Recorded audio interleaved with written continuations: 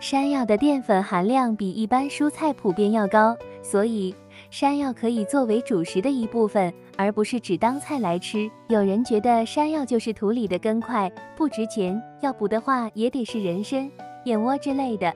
但是山药有徐徐调补之功，是其他中药很难达到的。中医认为山药有补脾肺肾、益气养阴的功效。现代医学认为其营养价值十分高，里面含有丰富的淀粉酶、脂肪、蛋白质、多种维生素等，具有降血糖、血脂、增强免疫力、抗衰老等作用，好处数不胜数。